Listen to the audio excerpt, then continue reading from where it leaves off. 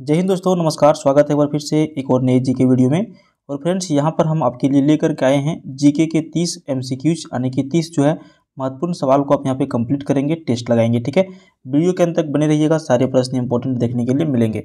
आइए हम लोग स्टार्ट कर लेते हैं प्रश्न संख्या एक से। तो यहाँ पे देखिए, बहुत ही इंपॉर्टेंट सवाल है, हिस्ट्री से आपको प्रश्न पूछा जा रहा है कि ज्ञान प्राप्ति से पूर्व भगवान महावीर का नाम क्या था? बहुत ही ज़्यादा इंपॉर्टेंट सवाल है। लगभग सभी लोग जो है लूसेंट का बुक जो है ज़रूर पढ़े होंगे और उसमें आपको जो है ये प्रश्न ज़रूर मिला होगा। तो देखिए, ज्ञान प्राप्ति से पूर्व भगवान महावीर का जो नाम था, वो क्या था? करेक्ट आंसर हो जाएगा ऑप्शन ये वर्धमान था। ठीक है, भगवान महावीर का नाम ज्ञान प्राप्ति से पूर्व में। तो हम लोग प्रश्न संख्या एक को कंप्लीट कर लिए। प्रश्न संख्या दो देखिए। आपका करेंसी से संबंधित है। करेंसी नोट और एक रुपये के सिक्के और कम मूल्य के जो नोट होते हैं, वो किसके द्वारा जारी किए जाते हैं? ठीक है? प्रश्न को एक बार फिर से आप समझ लीजिएगा। करेंसी नोट और एक रुपये से, एक रुपये के सिक्के और कम मूल्य के नोट जो है, किसके द्वारा जारी किए जाते हैं? खाली स्थान। करेक्ट आंसर हो जाएगा, वित्त मंत्रालय के द्वारा जारी किए जाते हैं। समझ गए? ऑप्शन डी बिल्कुल सही आंसर हो जाएगा आपका। अगला प्रश्न देखिए। बौद्ध साहित्य किस भाषा में लिखी गई थी? बौद्ध साहित्य जो है, वो किस भाषा में लिखी गई थी? प्राकृत भाषा, पाली, नेपाली या फिर संस्कृत? तो करेक्ट आंसर क्या हो जाएगा? ऑप्शन बी हो जाएगा यहाँ पर बिल्कुल सही। बौद्ध साहित्य जो है, किस भाषा में लिखी गई थी? पाली भाषा में लिखी गई थी। Correct answer option B next question देखिए। निम्नलिखित में से कौन सा जो है विद्रोह या फिर आंदोलन बंगाल के क्षेत्र में नहीं हुआ था? तो क्या सही आंसर हो जाएगा? यहाँ पे ऑप्शन हम लोग देख लेते हैं, सन्यासी विद्रोह चुआर विद्रोह, पागलपंथी विद्रोह या फिर ऑप्शन डी बघेरा विद्रोह। तो करेक्ट आंसर यहाँ पर आपका चार नंबर का सवाल हो जाएगा। आंसर बघेरा विद्रोह जो है, ये क्या हुआ था? जो है बंगाल के क्षेत्र में नहीं हुआ था। ठीक है? नेक्स्ट क्वेश्चन देखिए, निम्नलिखित नगरों में से कौन भूमध्य रेखा के सर्वाधिक निकट है? तो भूमध्य रेखा के सर्वाधिक निकट जो शहर बसा हुआ है, वो है Singapore. Correct answer option D चारों ऑप्शन में से कोलंबो, जकार्ता, मनीरा और सिंगापुर। अच्छा इस तरह के प्रश्न आपका ऐसे कैसे कंप्लीट हो पाएगा? आप सिर्फ़ नाम देख करके कैसे आप जो है इसको आंसर कर पाएँगे? तो इसके लिए भैया आपको क्या है ग्लोब ज़रूर लेना होगा ठीक है? जो विश्व का मानचित्र होता है, या फिर एक एटलस बुक आता है A T L E S ठीक है? आप इसको भी जो है अपना जब भी समय मिले, आप इसको निहारते रहिए, देखते रहिए, ताकि आपका जो भी विश्व विश्व का जो है यानी कि जो जोग्राफी है, वो भी प्रश्न आपका इस तरह से कंप्लीट हो जाए। ठीक है? तो आप लोग जो है एटलस ज़रूर खरीद लीजिएगा और वहाँ से भी देखते रहिएगा। तो यहाँ पे देखिए निम्नलिखित नगरों में से भूमध्य रेखा के सर्वाधिक निकट कौन सा शहर है? तो सिंगापुर, ठीक है? नेक्स्ट क्वेश्चन देखिए, निम्नलिखित में से वह राज्य कौन सा है जिसकी सीमा मिजोरम से नहीं लगी हुई है? अब इस प्रश्न के लिए भी आपको दिमाग में तुरंत यहाँ पे जो है मैप जो है दौड़ना चाहिए कि वह कौन सी सीमा है जो मिजोरम से नहीं जुड़ी हुई है, नहीं लगती है? तो ऑप्शन क्या है? नागालैंड है, म्यांमार है, असम और त्रिपुरा। तो क्या सही आंसर हो जाएगा? देखिए, जो लोग अटलस यहाँ पे ध्यान से देखे उन लोग तुरंत मार देंगे नागालैंड, ठीक है? तो वह कौन सा वह जो है, राज्य कौन सा है, जिसकी सीमा मिजोरम से नहीं लगी हुई नागालैंड बिल्कुल करेक्ट आंसर हो जाएगा, ठीक है? तो ये आपका क्या है? ये आपका मैप के ऊपर जितना कमांड आप बढ़िया रखेंगे, उसी के हिसाब से आप इसका आंसर कर सकेंगे, ठीक है? अगला प्रश्न देखिए, निम्नलिखित में से कौन भारतनाट्यम की विख्यात नृत्यांगना नहीं है? चार ऑप्शन दिए गए हैं, चार में से कौन नहीं है? तीन है, लेकिन एक नहीं है। तो क्या है option Rukmini Devi Arundale T Bala Saraswati, Yamini Krishnamurthy या फिर झावेरी बहने। तो सही आंसर हो जाएगा झावेरी बहने जो है, ये भरतनाट्यम की विख्यात नृत्यांगना नहीं है, बाकी तीन है, ठीक है? नेक्स्ट क्वेश्चन देखिए, किस काल में अछूत की अवधारणा स्पष्ट रूप से उदित हुई है? तो की कौन सा वो काल था जब जो है अछूत की अवधारणा जो स्पष्ट रूप से उद्धत हुई थी? तो उत्तर वैदिक काल बिल्कुल सही आंसर हो जाएगा आपका। नेक्स्ट क्वेश्चन देखिए, भारत में मोहम्मद गोरी ने किसको प्रथम अक्ता प्रदान किया था? ठीक है तो इसका सही आंसर फ्रेंड्स हो जाएगा ऑप्शन बी कुतुबुद्दीन ऐबक को। ठीक है, कुतुबुद्दीन ऐबक इसका बिल्कुल सही आंसर हो जाएगा। नेक्स्ट क्वेश्चन देखिए, श्रीलंका में आबादी के अधिकांश लोग खाली स्थान का अनुसरण करते हैं तो इसका सही आंसर आपको जो है बिल्कुल आप आराम से मार सकते हैं। हिंदू धर्म नहीं है, इस्लाम धर्म नहीं है, ईसाई धर्म नहीं है, लेकिन बौद्ध धर्म है। आप हिस्ट्री में पढ़े होंगे कि बहुत सारे भिक्षु यहाँ से जो है, कहाँ गए थे? श्रीलंका जो है प्रचार करने के लिए गए थे, बौद्ध धर्म का। तो वहाँ पे अधिकांश लोग जो है, वो बौद्ध धर्म को मानने वाले हैं, ठीक है? तो ऑप्शन डी बिल्कुल सही आंसर आपका हो जाएगा। अगला प्रश्न है, जल का सापेक्ष आणविक द्रव्यमान कितना होता है? तो जल का सापेक्ष आणविक द्रव्यमान जो होता है, वो होता है ऑप्शन डी इसका बिल्कुल सही हो जाएगा, ठीक है? अठारह। चलिए। अगला प्रश्न देखिए, मानव रक्त का पीएच मान जो है वो कितना होता है? ठीक है, मानव रक्त का पीएच मान कितना होता है? तो मानव रक्त का पीएच मान होता है सेवन पॉइंट फोर। याद रखिएगा इसको। नेक्स्ट क्वेश्चन देखिए, भारत में सबसे बड़ा कानून अधिकारी किसे माना जाता है? तो भारत में सबसे बड़ा कानून अधिकारी माना जाता है भारत के महान न्यायवादी को। करेक्ट आंसर ऑप्शन बी हो जाएगा। ठीक है नेक्स्ट क्वेश्चन देखिए, भारतीय संविधान के अनुसार खाली स्थान केंद्रीय निकाय संसद क्या कहलाती है? तो भारतीय संविधान के अनुसार केंद्रीय निकाय संसद जो कहलाती है, वो कहलाती है विधायकी। करेक्ट आंसर ऑप्शन सी के साथ चला जाएगा आपका। नेक्स्ट क्वेश्चन देखिए, शिशु में प्रत्येक लक्षण खाली स्थान के डीएनए से प्रभावित हो सकते हैं। तो शिशु के जो प्रत्येक लक्षण है, वो पिता अथवा माता दोनों के डीएनए से प्रभावित हो सकते हैं। इसीलिए बहुत बार क्या होता है कि बहुत बार कहीं जो हादसा वगैरह हो जाता है, कहीं आग वगैरह लग जाती है तो वहाँ पे अगर यदि कोई बॉडी जो होता है, अगर यदि उसको नहीं पहचान पाता है लोग तो उसका डीएनए टेस्ट करवा देता है, ठीक है? डीएनए टेस्ट करवा देता है, शक के आधार पर उसके घर वालों का डीएनए सैंपल लिया जाता है और उससे मिला दिया जाता है। अगर यदि वो मैच कर जाता है तो समझ लीजिए कि वो उस घर के सदस्य हैं। तो इसमें क्या है कि पिता अथवा माता दोनों में से किसी एक आदमी का जो है प्रभावित हो सकते हैं इससे, उसके प्रत्येक लक्षण। समझ गए? अब प्रश्न संख्या अगला देखिए। सल्तनत काल के सिक्के, टंका, ससगानी एवं जीतल किन धातुओं के बने होते थे? तो सही आंसर हो जाएगा, चांदी और तांबा के बने होते थे। ठीक है? नेक्स्ट क्वेश्चन देखिए।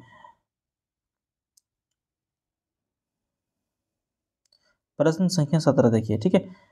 प्रश्न संख्या सत्रह में बोल रहा है कि बारह मासा की रचना किसने की थी?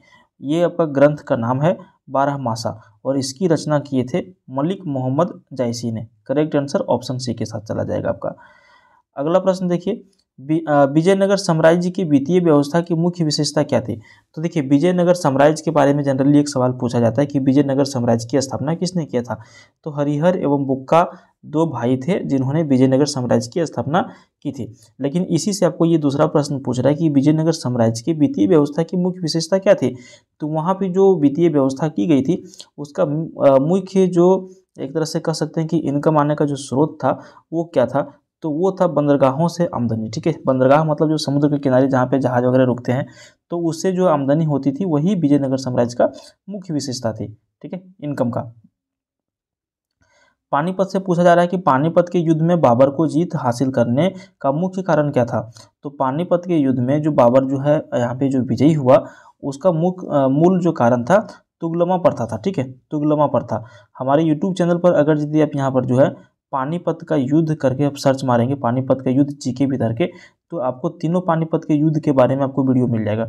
तो आप इसको सर्च कर सकते हैं। उसमें आपको ये तुगलमा प्रथा क्या था, तुगलमा विधि क्या था, कैसे बाबर विजयी रहा, कौन सा युद्ध में कौन विजयी रहा, सारा डिटेल आपको वहाँ पे देखने के लिए मिल जाएगा। आठ से दस मिनट का वीडियो होगा, ज़रूर देख लीजिएगा, अगर यदि आपके पास समय हो तो। चलिए, हम बढ़ते हैं अगले प्रश्न की ओर। तो यहाँ पे उसका मूल कारण क्या था, बाबर को जीत हासिल करने का तो तुगलमा प्रथा था, ठीक है? उसके बाद देखिए, निम्नलिखित प्रश्न में से दिए गए विकल्पों में से संबंधित शब्द को या फिर जुर्म को चुनिए। देखिए, एक तरह से कह सकते हैं कि एक रीजनिंग का भी प्रश्न है और जीके का भी प्रश्न है। इस तरह का टेस्ट करने के लिए जो है माइंड टेस्ट करने के लिए सारे प्रश्न दिए जाते हैं, ठीक है? तो सही आंसर आपको इसमें छांटना है। तो देखिए, वर्ग जो है, इसकी क्या होती है? चार भुजा होती है। तो उसी तरह से यहाँ पे आपको छांटना कि इसमें से कौन सा सही आंसर हो जाएगा। तो यहाँ पे देखिए, बिल्कुल मिलता जुलता है आयत, इसमें भी चार भुजा होती है, ठीक है? चलिए अगला प्रश्न देखिए, सूर्य से बढ़ती दूरी के अनुसार ग्रहों का निम्नलिखित में से कौन सा क्रम सही है? तो सूर्य से बढ़ती दूरी के अनुसार ग्रहों का निम्नलिखित में से कौन सा क्रम सही हो जाएगा? तो सूर्य से जो दूरी बढ़ती है, जैसे ये आपका सूर्य, ठीक है? इस क्षेत्र की ओर यानी कि बढ़ते दूरी की ओर जो जाती है, उसमें से आपको यहाँ पे नंबरिंग करना है और इसका करेक्ट आंसर हो जाएगा, सबसे नज़दीक ग्रह जो है बुध है ठीक है? यानी कि ये सूर्य है और ये आपका हो गया बुध, ठीक है? उसके बाद भैया, ये है शुक्र। तो यहाँ पे आपका ये दो नंबर में है, ये शुक्र हो गया, फिर आता है पृथ्वी तो ये पृथ्वी आपका हो गया, फिर आता है मंगल तो ये आपका मंगल हो गया तो ये बढ़ते क्रम में आपको पूछ रहा है, ठीक है? तो आप समझ गए? बुध, शुक्र, पृथ्वी और मंगल। पहले बुध है, फिर शुक्र है, फिर पृथ्वी है, फिर मंगल है, करेक्ट? चलिए भारत के कितने राज्यों में समुद्र तट हैं? बहुत ही आसान और बहुत ही इंपॉर्टेंट सवाल है। जिनके, जिनको पता होगा, उनके लिए तो बहुत मज़े की बात है। जिनको नहीं पता है, वो लोग सोच लें कि भारत के कितने राज्यों में समुद्र तट हैं। करेक्ट आंसर क्या होगा? ऑप्शन सी हो जाएगा नौ अगला प्रश्न देखिए। अमीर खुसरो किसके शिष्य थे? अमीर खुसरो जो है, वो किनके शिष्य थे? करेक्ट आंसर हो जाएगा निजामुद्दीन औलिया के शिष्य थे। कौन? अमीर खुसरो। अगला प्रश्न है, आजीवक संप्रदाय के संस्थापक निम्नलिखित में से कौन थे? तो देखिए, आजीवक संप्रदाय के संस्थापक माने जाते हैं मखली गोसाल। ऑप्शन डी यहाँ पर सही आंसर हो जाएगा। देखिए, बराबर अगर यदि आप टेस्ट लगाते हैं ना तो बहुत ही आसान हो जाएगा आपके लिए। जैसे क्वेश्चन आपके सामने आएगा, आप आराम से आंसर उसका कर सकते हैं। इसीलिए ज़रूरी नहीं कि आप हमारे ही वीडियो देख करके प्रैक्टिस करें, लेकिन जब भी आपको मौका मिले, समय मिले, अगर यदि आप सो भी रहे हैं तो क्या करिए कि एक वीडियो स्टार्ट करिए, अपना कान के पास लगाइए या फिर ईयरफोन लगाइए और उसको सुनते रहिए। सुन के भी बहुत सारा प्रश्न आपको याद हो जाते हैं, ठीक है? तो एक तरह से ये प्रैक्टिस करने का आपके लिए ज़रिया हो जाएगा। एक प्रैक्टिस यानी कि कभी भी खाली टाइम में खाना भी बना रहे हैं, स्टूडेंट हैं, हॉस्टल में रह के पढ़ाई करते हैं, खाना भी बना रहे हैं तो मोबाइल को चालू कर दीजिए, देखते रहिए, सुनते रहिए, उसमें भी आपका प्रैक्टिस हो जाता है। तो जीके जो है, ऑल इन ऑन कहीं भी आप जो है बैठ के सो के उठ के गाड़ी में सफ़र करते हैं, उस टाइम भी आप इसका रिवीजन कर सकते हैं। तो आप बराबर इसका रिवीजन करते रहिए जीके का, क्योंकि जीके का रिवीजन करने से क्या है कि क्वेश्चन कभी आप भूलेंगे नहीं और पढ़ने में भी आपको मन लगा रहेगा। समझ गए? तो प्रैक्टिस ज़रूर करते रहिएगा। आइए हम लोग प्रश्न की ओर लौटते हैं। नगर प्रशासन का कौन सा प्रकार बड़े शहरी क्षेत्रों का नियंत्रण करता है? तो करेक्ट आंसर ट्वेंटी फाइव का ऑप्शन सी हो जाएगा नगर निगम, ठीक है? हर बड़े शहर में एक नगर निगम होता है जो तो साफ़ सफ़ाई देख रेख वगैरह की सारा कुछ जिम्मा संभालता है ठीक है? चलिए अगला प्रश्न किस शासक वंश ने मंदिरों एवं ब्राह्मणों को सबसे अधिक ग्राम अनुदान में दिया था?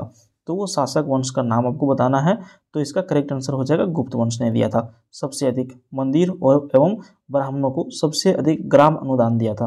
ग्राम मतलब एक तरह से कह सकते हैं कि दा, दान देना फिर ग्राम को बसाया गया था लोगों में दान वगैरह किया था तो गुप्त वंश इसका बिल्कुल करेक्ट आंसर हो जाएगा ठीक है? अगला प्रश्न देखिए, निम्नलिखित प्रश्नों में से दिए गए विकल्पों में से संबंधित युग्म को चुनिए। तो एक तरह से फिर मैंने एक एक प्रश्न जो है इसी लेवल का हम लोग देख लिए हैं, उसी तरह का ये प्रश्न है। तो इसका आपको आंसर देना है, समझना है, ठीक है? तो क्या इसका आंसर हो जाएगा? पहले सबसे पहले हम लोग प्रश्न को समझ लेते हैं कि विद्युत प्रवाह जो है, एम्पियर में मापा जाता है। तो यहाँ पे दूसरा क्या इसका सटीक बैठता है? तो हम लोग कार्य को जूल में मापते हैं, ठीक है? चलिए, वायु को किलोग्राम में हम लोग माप ही नहीं सकते, दाब को गति में हम लोग माप नहीं सकते, ताप, तापमान को हम लोग मीटर में माप ही नहीं सकते तो कार्य को हम लोग क्या कर सकते हैं? जूल में माप सकते हैं, ठीक है? तो इसका सही आंसर हो जाएगा। सेम उसी तरह का प्रश्न देखिए। चौदह का संबंध जिस तरह से, सोलह से है, उसी तरह से बाईस का संबंध किस से होगा, ठीक है? तो बाईस का संबंध चौबीस से होगा, क्यों? क्योंकि यहाँ पे चौदह में दो बढ़ रहा है तो सोलह हो गया, बाईस में दो बढ़ेगा तो चौबीस हो जाएगा, ठीक है? बहुत ही सिंपल सवाल है। सेम प्रश्न यहाँ पे आपको दिया हुआ है, इसका आंसर बताने की आवश्यकता है नहीं, रिपीट हो गया है। और उसके बाद यहाँ पे देखिए, बहुत ही ज़्यादा इंपॉर्टेंट सवाल आपको पूछा जा रहा है, और ये आपका वीडियो का अंतिम प्रश्न भी है। भारत के उपराष्ट्रपति के संबंध में कौन सा कथन असत्य है? ठीक है, उपराष्ट्रपति के संबंध में कौन सा कथन जो है असत्य है? तो असत्य को समझने के लिए हम लोगों को सबसे पहले ऑप्शन देखना होगा, जो असत्य यानी कि सही नहीं है। तो हम लोग पहला ऑप्शन देखते हैं, इसकी योग्यता प्राप्त करने के लिए प्रत्याशी की आयु कम से कम पैंतीस वर्ष की होनी चाहिए। हाँ भैया, कोई भी आदमी अगर यदि भारत का राष्ट्रपति या फिर उपराष्ट्रपति बनना चाहता है तो उसका उम्र पैंतीस वर्ष होना चाहिए। तो ये तो सही है, असत्य है नहीं।